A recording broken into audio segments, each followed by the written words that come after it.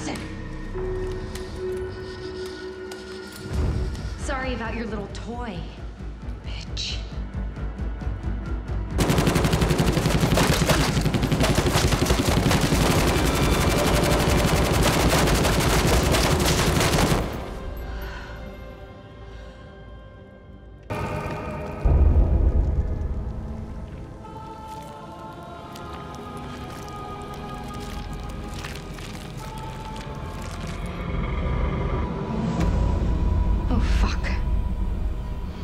I guess it's back to retail.